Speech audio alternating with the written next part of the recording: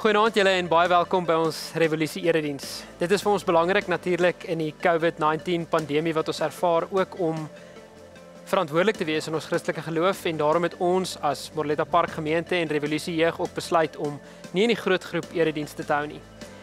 En daarom ook vir die volgende 3 weke gaan ons eredienste net elektronies uitgesaai word op ons Morletta Live YouTube kanaal en daar waar jy ook nou sit in jou in in jou sitkamer gee dit vir ons nuwe geleenthede om ook koinonia te ervaar, om met mekaar te kan connect as kerk en mag vanaand en die volgende 3 weke ook vir jou 'n geestelike ervaring wees waar jy elektronies na hierdie boodskappe sou luister. Omdat dit ook 'n erediens is, maar ons nie fisies bymekaar kom nie, is dit ook vir ons belangrik om die Here nog steeds te eer met ons offergawes. En daarom vra ons vir jou om ook nou, soos op die skerm, die Zapper kode te gebruik en om te scan om jou offergawe te gee of die bankbesonderhede van die gemeente sal ook nou daarop wees. Ons weet ons wil die werk van die Here ook nog steeds laat aangaan in hierdie tyd. En dit is nou ook krities belangrik dat die kerk en die profetiese stem van die kerk en die hoop wat ons kan bring sal deurgegee word aan die wêreld. En mag die Here ook jou hart en jou beursie oopmaak om te kom gee sodat die werk van die Here kan aangaan en dat ons kan teruggee vir hom omdat hy so baie vir ons gee. Mag jy vanaand geniet en mag dit ook mag die Heilige Gees so kragtig in jou werk deur die woord wat ons nou gaan lees.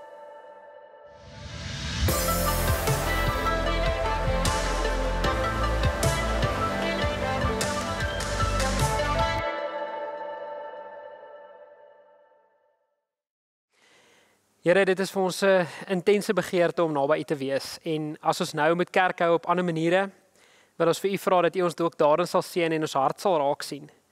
Here, ons is hier saam as gesinne, as families in ons sitkamers en en ons wil U hier ook kan verheerlik. Ons wil U naam ook hier kan verheerlik. Ons wil na U woord luister. Ons wil dat U Gees in ons werk en mag U vanaand ook so sal seën en dat elkeen wat dit sien sal besef dat U is die Here en dat U woord in ons lewe ook die deurslag gee. Dankie dat ons kan bid vir ons land en vir die wêreld en vir alles wat op die oomblik aan die gang is. Dat ons kan vra vir U beskerming in hierdie tyd van 'n pandemie dat ons wil uitreik na U toe en dat ons nog nader aan U wil beweeg in tye soos hierdie. En Here, laat ons U sal vertrou met waarmee U ook besig is agter die skerms. Dat ons nie hoef paniekerig te raak nie en dat ons nie hoef vrees te kweek binne onsself en ander nie, maar dat ons kan vashou aan die beloftes van U woord. Mag U ook die woord wat nou gespreek gaan word sal seën. En ons ons vra dit alles Here in die mooiste naam wat ons ken, in die naam van Jesus Christus. Amen. Is ons emosie en ons geloof altyd gekoppel aan mekaar? Moet dit altyd gekoppel wees aan mekaar? En vir dit vanaand het ek hierso ook vir Pieter en Pieter gaan saam met ons bietjie gesels en ons gaan uit God se woord uit werk en ons hoop dat dit vir jou 'n geestelik verrykende ervaring sal wees en dat jy regtig God se nabyheid ook sal beleef daar waar jy is. Pieter, welkom. Jy oh, corona. Ja, ja okay. Met die voete. Daar's hy. Corona goed, ja. Ja, so Pieter, ehm um, vertel vir ons 'n bietjie met die inleiding as ons praat oor ehm um, wat dit is om met ons emosies en geloof en die rol wat dit alles in speel en in mekaar speel. Ehm um, hoe groot rol moet dit wees? Ehm um, deel bietjie met ons daaroor. Ja, vanaand, soos wat ons nou gesels oor hierdie, wil ek net eers vir julle 'n storie vertel, want die die hele hart agter die emosie en uh, ons emosies wat ons geloof dikteer of of beheer, um, is nie altyd eintlik uh nodig nie of dit is nie eintlik gesond partykeer nie. En daar's so 'n verhaal wat wat net so ehm uh, lei. Uh ek seker of van julle is almal bekend met die storie van die opsigter van die lughuis. En as jy nie is nie, um, dis 'n ware verhaal wat in die vroeë 1900s afspeel. En wat basies gebeur het is daar was hierdie hierdie ehm um, lughuisopsigter wat in 'n klein dorpie in Engeland teen die kus die kusgebied gepatrolleer het vir skepe wat in en uit gaan. Nou dit was een van die gevaarlikste kusgebiede in daai streek in die Engelandse kus. Dit was baie rotse en die golwe was verskriklik. Daar was ook 'n tekort aan baie minerale en en goed wat die gemeenskappe partykeer moes gebruik het om hulle warm te hou of hulle kos te um, kos gaar te maak en so. So elke maand het die opsigter net 'n maand se voorraad van olie gekry. En wat hy gedoen het is hy het hierdie olie dan gebruik vir die maand om sy lughuis aan die gang te hou sodat die skepe veilig kan verbygaan. Maar hierdie een maand toe kom die gemeenskap na hom toe en vra hom en pleit by hom om van sy olievelle te leen. Wat hy toe doen uit 'n goeie hart voel hy, weet jy wat, kom ek antwoord op hierdie pleit van die gemeenskap. Hy deel toe de, uh, van sy olie met hierdie gemeenskap. En soos wat dit gebeur na die einde van die maand toe, begin hy besef maar hy gaan uithardloop. Vir 'n hele maand lank het die het die gemeenskap hom geprys en vir hom om geoorloof oor oor hoe goed hy is en hoe goedhartig hy was. Maar in die laaste paar dae, toe is daar 4 skepe wat gestrand word en honderde mense wat in daai geval sterf. Die lughuisopsigter is toe geneem en voor die hof geplaas. En na die regter hom vra vir wat sy verskoning was vir hoekom hierdie moes gebeur het, omdat hy uit olie uitgehardloop het. Toe stem die regter nie saam met wat die opsigter vir hom sê nie. Die regter se uitspraak aan die einde het gelei jy was getaak met 'n spesifieke doel om spesifieke lewens te beskerm. Jou goeie hart en dade het lewens gekos. Want jy het in dwaasheid net jou hart gevolg en nie die groter prentjie in ag geneem nie. In ons wêreld vandag dink ek dat daai prentjie ook 'n sterk beeld is want ons kom agter dat ons baie keer sukkel om ook die groter prentjie raak te sien. Die groter prentjie van waarmee God besig is. Die groter prentjie van wat die plan is van gelowiges in die wêreld, God se plan met die kerk, dat nog altyd die voertuig was waarmee hy sy evangelie in die wêreld wil inkry. En wat baie keer in die pad daarvan kom staan is is onsself. Ons kom staan self in die pad daarvan. Ons ons eie emosies, ons eie ek. Ons sukkel baie keer om om raak te sien wat is dit wat God wil hê in die situasie en om dit los te maak van wat is dit wat ek wil hê in die situasie. En een van die gedeeltes wat ons daarvoor gebruik uit die Bybel uit om te lees is Romeine 1. En daar's ons 'n gedeelte in Romeine 1 waar dit waar dit praat oor oor oor sonde en en ons ons ons menslikheid wil ek amper sê.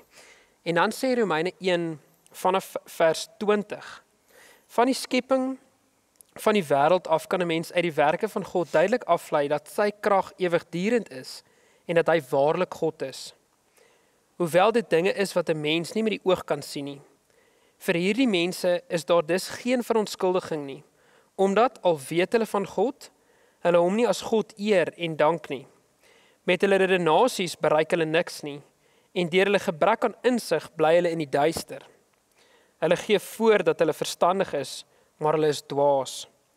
In die plek van die heerlikheid van die onverganklike God stel hulle beelde wat lyk soos 'n verganklike mens of soos voëls of diere of slange. Daarom gee God hulle aan hulle drange van hulle hart oor en aan hulle sedelike onreinheid sodat hulle hulle liggame onder mekaar onteer. Dit is hulle wat die waarheid van God verruil vir die leuen. Hulle dien en vereer die skepsel in plaas van die Skepper aan wie die lof toekom vir ewig. Amen. Daarom gee God hulle aan hulle skandelike drifte oor.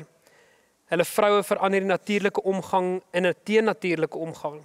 Net so laat vaar die mans ook die natuurlike omgang met die vrou en brand van begeerte vir mekaar.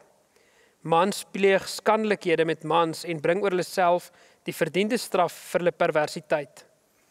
En omdat hulle dit van geen belang ag om God te ken nie, gee hulle oor aan hulle verdraaide opvattinge sodat hulle doen wat onbetaamlik is. Hulle is een en al ongeregtigheid, slegheid, hebsug en gemeentheid. Hulle is vol jaloesie, moord, twis, bedrog en kwaadwilligheid. Hulle skinder en praat kwaad. Hulle haat God. Hulle is hooghartig, aanmatigend, verwaand. Hulle is mense wat kwaad uitdink, ongehoorsaamheid aan hulle ouers. Hulle is onverstandig, onbetroubaar, liefdeloos, hardvogtig. Hulle is mense wat die verordening van God ken dat die sulke dinge doen, die dood verdien. En tog doen hulle nie net self hierdie dinge nie, maar hulle vind dit ook goed as ander dit doen. Dis 'n gedeelte in Romeine 1, die laaste gedeelte van Romeine 1 wat dit vir ons eintlik verduidelik en dit klink na 'n baie harde en 'n moeilike teks, maar dit wys vir ons iets van die mens se natuur. Dit wys vir ons iets van die mens en hoe ons as ons baie keer moet kies, die die verkeerde goed kies. Dat ons menslike natuur, ons sondige natuur baie keer teen die wil van God wil ingaan. En daarom is dit so belangrik dat ons moet onthou ons emosie kan nie gekoppel wees aan ons verhouding met die Here 100% nie. Want ons is emosionele wesens en ons emosies is wisselvallig.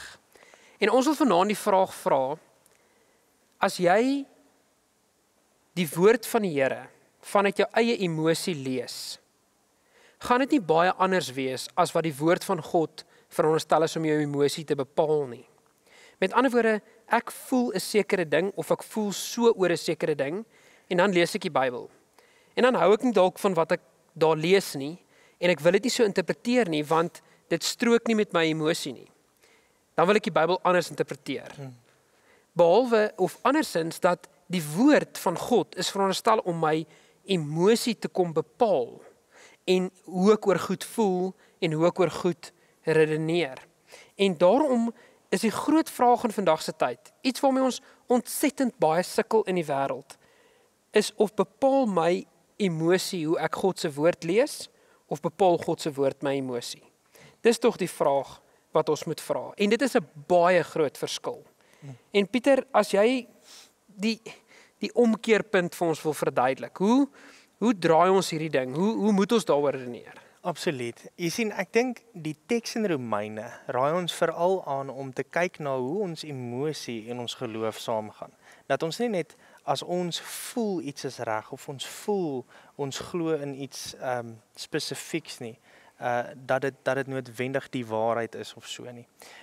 Die eerste gedeelte in Romeine verduidelik vir ons dat ons met met 'n goeie verstand en met observasie God se skepping en sy perfekte wese kan aanskou.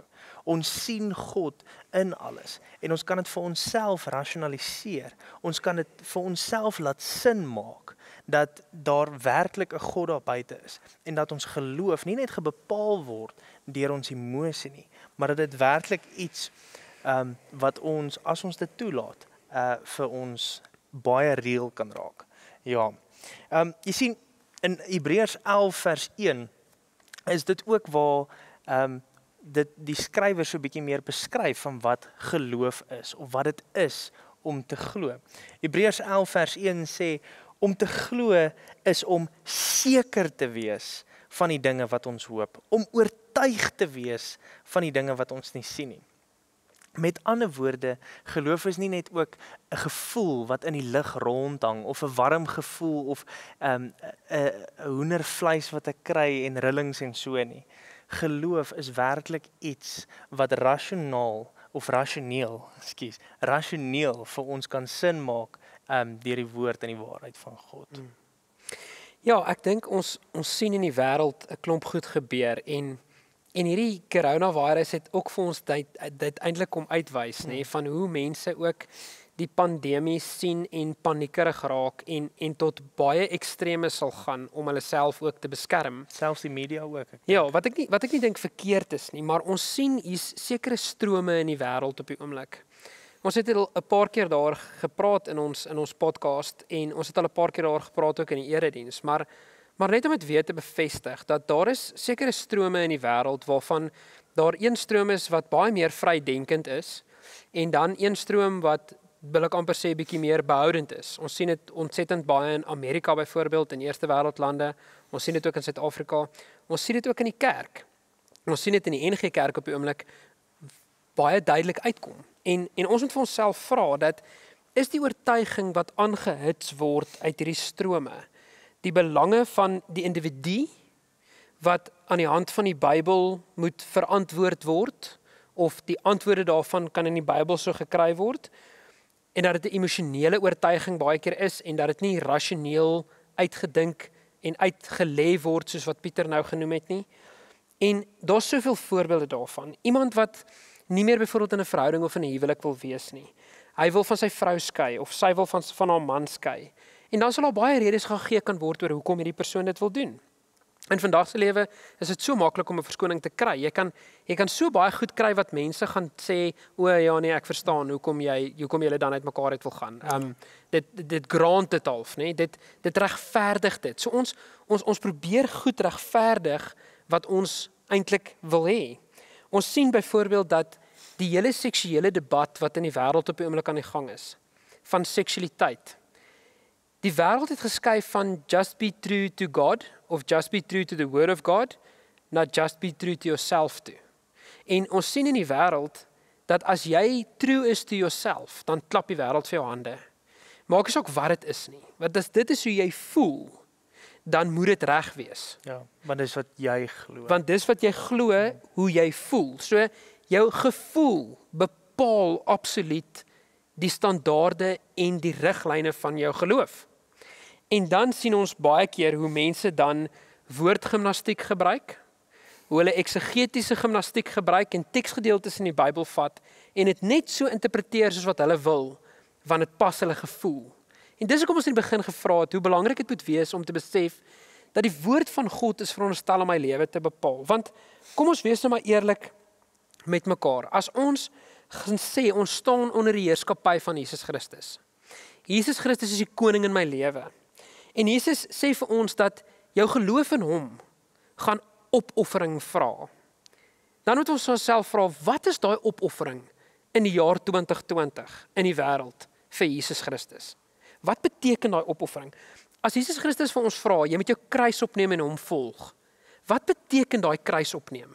Wat is die buite ons comfort zone beweeg goed wat ons in 2020 moet vir mekaar vra vir die evangelie is belangrik. En dan kom dit ook daarby, wat beteken dit as jy jou kruis opneem? Wat om mee te struggle? En ek wil net hierdie ook by sê. Almal van ons, julle, het iets in die lewe waarmee ons struggle.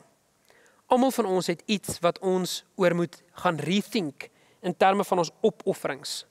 Dalk is dit dat jy baie skinder of vloek of jok. Miskien sukkel jy om die waarheid te praat en voor jy kan kry dan het jy weer iets gesê wat nie heeltemal die waarheid is nie.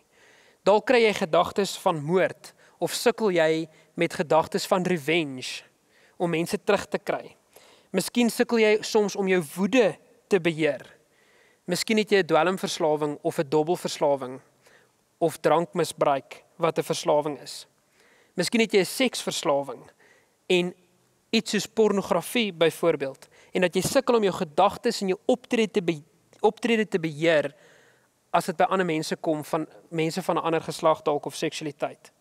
Miskien verloor jy maklik jou meer en sukkel jy om jou emosies soos woede onder beheer te hou. En ek weet nie hoekom is dit vir die een persoon so en hoekom is dit vir 'n ander persoon nie so nie, julle. Maar wat ek wel weet, is dat elkeen van ons is met 'n pakkie gedeel. Elkeen van ons is in 'n situasie in die wêreld as gevolg van die sondeval dat daar 'n stuk gebrokenheid in ons is. Absoluut. Iets is gebreek. Iets is fout. Ons almal sukkel met gedagtes wat nie in die oë in die Here in die Here se oë reg is nie. Maar ons is ook getaak daarmee om in hierdie tyd toegewy te wees aan die riglyne wat die Here vir ons kom gee. En dat ons nie maar net sal sê, weet jy wat, ek is nou so gemaak en ek is nou so laat staan nie. Die Here het my met 'n kort meer gemaak en dis wat hy my gemaak het, so dis nou hoe ek gaan wees. Of die Here het nie vir my geduld gegee nie. Ek is maar gemaak as iemand wat nie geduld het nie. Daai goed werk nie meer om dit te sê in ons geloof nie. Want die vrug van die Gees sê vir ons iets anders. Die woord van die Here kom sê vir ons iets anders. En daarom weet ons dat ons aan die woord van die Here moet getrou wees deur weg te draai van ons sondige natuur af. Absoluut. Deur weg te draai van die goed wat ons weet is ons pakkie waarmee ons gedeel is. Mm. En ek moet weg ek moet daarvan af wegdraai. Ek kan nie net sê dat ek kry nou hierdie gedagtes en hierdie gevoelens en nou kan ek maar daarop reageer en ek regverdig dit nie. En dis hoekom ek sê selfs binne die kerk gebruik mense baie mooi woorde en woordgimnastiek om hierdie goeters wat eintlik fout is, hierdie gebrokenheid te kom regverdig. Ja. In 'n baie onlangse geval waar daar hierdie twee strome mekaar getref het weer in Suid-Afrika was daai voorbeeld wat ons kan gebruik van die trou venue in Kaapstad en en dat hulle volgens hulle beleid nie mense wou trou wat van dieselfde geslag is en daar daar wou trou nie en toe word hulle na die hof gesleep as gevolg van diskriminasie. En dan moet ons vir onsself vra vanuit 'n geloofsoogpunt uit, vanuit kinders van die Here wat aan hom glo, wat onder die heerskappy van Jesus staan en wat die woord van God as die absolute waarheid in ons lewe sien. Aan wie moet ons gehoorsaam wees? Aan Die woord van die Here of van mense wat vir ons sê ons diskrimineer. En kom ons wees nou maar eerlik met mekaar. As die Bybel sê iets is sonde, is dit verkeerd van ons om te sê dit is sonde en word dit as diskriminasie gesien? Wat sal jou gedagtes wees rondom dit?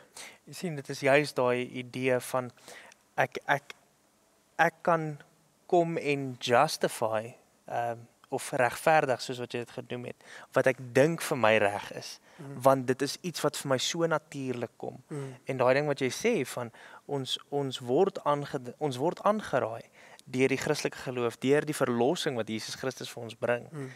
um, om tot 'n hoër standaard um verantwoordelik gehou te word. Ja. En dit is ietsie wat vir my ook so mooi beklemtoon word in in die in die teks van Matteus 7 vers 21 tot 23 en ek wil hê jy moet ook bietjie saam lees. So as jy jou Bybel naby het, gryp hom en highlight hierdie stukkie want dit is 'n stukkie wat regtig um baie mense bietjie laat sidder en bietjie laat laat terugsit en dink, "Wow, waar lê my egte um verhouding met God. Mm. Eh, ek wil ek wil hê jy moet jou gedagtes ook hieroor deel, maar wat die teks sê is Matteus 7 vers 21 tot 23. Nie elkeen wat vir my sê Here Here sal in die koninkryk van die hemel ingaan nie. Maar net hy wat die wil doen van my Vader wat in die hemel is. Nie my wil nie, wat sy wil doen. Baie sal daardie dag vir my sê, Here Here, het ons dan nie in u naam gepreek nie deur u naam bose geeste uitgedryf en deur u naam baie wonders gedoen nie dan sal ek openlik vir hulle sê ek het julle nooit geken nie. Gaan weg van my af. Julle wat die wet van God oortree. PC hoe mooi is daai Ja, kyk, daai is 'n baie skerry teksgedeelte. Ek is ek is bang vir hom. Uh, ek is ek is ek is baie bang om om daai teksgedeelte oor die algemeen in preke te gebruik want ek is so bang ek lê daai teks verkeerd uit en dat my eie gedagtes of dit wat ek dink wat ek in die teks inlees en ek is eintlik baie bang vir daai teks oor die algemeen. Maar hoe hoe ek dit verstaan of hoe ek hierdie teks ook verstaan is dat dit gaan nie oor die die wette soos wat dit in die Ou Testament noodwendig gegee is en wat jy moet nakom en nie moet nakom nie. Ons weet ons eet of Ja, ons is in die ons is of aan 'n dooie raak of wat ook al. Ons is nie meer in 'n ons is nie meer in 'n in 'n in 'n wettiese godsdiens waar waar waar jy sekere goed moet doen om om om die wet na te kom nie. Verstaan? Ons is Nuwe Testamentiese geloofskinders en en Jesus Christus het die het die het die wet kom kom kom vervul, maar hy het ook die wet kom intensifiseer as ons byvoorbeeld na die bergrede kyk mm. met sekere van die goed. Verstaan? Ander woorde, die wet is nie meer iets wat ek navolg nie. Die, die wet is iets wat deel word van my lewe wat wat die dankbaarheid van van van Jesus se verlossing ja, kom ja. uitstraal. Ons ons ons doen dit nie vir iets nie, ons doen dit as gevolg van iets. As ons doen dit as gevolg van ons ons ons ons, ons redding. Ja. Maar ek dink die belangrike ding om te verstaan uit hierdie teks uit wat natuurlik ook 'n Nuwe Testamentiese teks is, is om te besef dat ons verhouding met Jesus Christus en met God is die belangrikste. Uit ons verhouding met God uit oortuig die Heilige Gees ons van sekere goed in ons lewe wat nie in lyn is met hoe God wil hê ons moet leef nie. Hy gebruik sy woord en hy gebruik sy gees. Maar ons weet daar waar hy sy woord gebruik en sy gees gebruik, het ons die keuse om daarna te luister of nie. Of is dit 'n keuse om dit te ignoreer? Nou, kom ons wees ook eerlik met mekaar. Ons het al baie die pakkies in ons lewe geïgnoreer. Ons ons ons weet, hoorie maar hierdie wat ek nou doen is nie reg nie. Ek ons weet dit, maar ons ignoreer dit baie keer. Ons ja. ons draai nie daarvan af weg nie. En ek dink daar's so baie goed in die wêreld wat mense weet is nie heeltemal in in in God se wil nie, nie heeltemal hoe hy wil hê ons moet leef nie, maar hulle sukkel om daarvan af weg te draai. Hulle sukkel om dit agter te los. Maar ons wil regtig vandag en vanaand wil ons nader aan die woord van die Here beweeg om om vir mekaar te sê dat om God te volg, om ons kruis op te neem en hom te volg, verg 'n opoffering van ons. En ek wil net weer sê, ek weet nie hoekom 'n sekere mense se opoffering wat hulle moet gee groter as ander nie. Ek weet nie, miskien was jy al daar of miskien ken jy iemand wat nou daar is. Iemand wat regtig sukkel met seksualiteit. Iemand wat regtig sukkel met 'n verslawing. Iemand wat regtig vir jou sê dit is vir my verskriklik moeilik om met hierdie ding te deel. Met baie simpatie en omgee en 'n liefdeshart sê ek vir daai persone dat ek weet nie hoekom gebeur dit met sommiges en nie met ander nie ek weet nie hoekom is die pakkie waarmee seker is gedeel word as gevolg van ons gebroke werklikheid en die sondeval erger as die pakkie waarmee ander gedeel is nie. Ek het nie vir jou antwoord op daai vraag nie. Maar wat ek wel 'n antwoord vir jou op het, is dat elkeen van ons moet daarna streef om binne die Christelike lewenswandel 'n wegdraai en omkeer te hê van die lewenswyse wat nie in wil in God se wil is nie. Wat volgens hom sonde is. En dat is nou maar vir mekaar kan eerlik sê, maak nie saak hoe sterk sekere strome in die wêreld raak nie. Die kerk se taak is nog steeds om vir mense te laat let op wat die wil van die Here in hulle lewe is en wat nie. En as daar iets is wat in sonde gebeur, is die kerk ook daarmee getaak om dit aan te spreek, Is om daaroor te praat, om Ja. te sê ons is nie nou in die wil van die Here nie, wat natuurlik ook uit die woord uitkom. En en en jy het so mooi ding wat jy wat jy sê oor oor hierdie en ek wil hê jy moet asseblief vir ons daarmee afsluit en en dan sal ek vir ons 'n gebed doen, maar maar laat ons net weer sal besef wie's die koning in ons lewe? Ons eie emosie en gevoel of Jesus Christus wat die woord, die weg, die waarheid en die lewe is. daar's 'n sê ding wat ek wil ook graag hê jy moet in jou boekie skryf en soos wat hy nou ge, ge, gevra het. Die sê ding gaan so en dit lei aan by by wat ons oor gepraat het vanaand oor die hele idee dat ek of ek nou my emosie op die voorhand stel en of ek my my gedagtes eerder moet gebruik om om te rasionaliseer om om God nie net as 'n 'n airy-fairy wese te sien nie, maar iemand wat werklik in my lewe deur verhouding met hom werk. Die slagspreuk gaan so. Ek sou eerder 'n klein rol in die groot prentjie van God speel as 'n groot rol in die klein prentjie van my. En daarmee raai ons julle aan om na vanaand uit te gaan in hierdie wêreld. Hierdie wêreld wat in krisis en pandemie staan, die die wêreld wat wat in 'n baie moeilike tyd is en waar die kerk gevra word om onsself te ignoreer, ons eie belange op sy te sit, ons kruis op te neem en die wêreld, die koninkryk van God te dien. Kom ons speel daai klein rol in die groot prentjie van God. Dankie Pieter. Kom ons sluit af met gebed. Here, baie dankie dat ons uit die woord uit kan leer en dat ons weet u Gees ons ook lei. Here, ons grootste behoefte is om naby aan u te leef en om ons liefde vir u te wys deur 'n aktiewe lewende verhouding wat ons met u het. Here, binne daai aktiewe lewende verhouding wat ons met u het, roep u ons tot 'n hoër standaard. En u roep ons tot 'n lewe van heiligheid. U roep ons tot 'n lewe van reinheid. U roep ons tot 'n lewe van gehoorsaamheid aan u woord. En Here, laat ons dit nie sal vergeet in hierdie tye waarin ons leef nie. Dat ons nie die waarheid ook sal probeer relatief maak tot elkeen se gevoel en emosie nie. Maar dat ons die waarheid sal glo soos wat u dit vir ons kom gee. Die waarheid van u woord wat tydloos is en deur u geïnspireer is. U woord wat vir elke tyd en elke generasie net so relevant is en dat die waardes wat U daarin vir ons leer en die riglyne van 'n Christelike lewe, Here, dat dit altyd iets sal wees waaraan ons vashou. Mag ons vanaand weer besef dat ons emosies is gevaarlik, Here, en dat ons emosies nie bepaal of U by ons is of nie by ons is nie. Dat ons nie voel ons bid maar niemand hoor nie, Here, want U is altyd daar. U is onveranderlik. U is gister, vandag en môre en tot in alle ewigheid dieselfde. Maar ons as emosionele wesens is nie, Here. En daarom wil ons vra dat U ons vanaand sal lei en hierdie week wat kom sal regtig lei in die besef dat U waarheid is die waarheid. En dat ons nie die waarheid probeer reduseer tot ons emosie en hoe ons daaroor voel nie. Dat ons in die wêreld daai getuienis kan gaan uitleef en dat U ons daar U ons daarin sal seën. Ons vra dit alles in die mooiste naam wat ons ken, in die naam van Jesus Christus alleen. Amen. Amen. Dankie julle, ons sien julle volgende week. Lekker.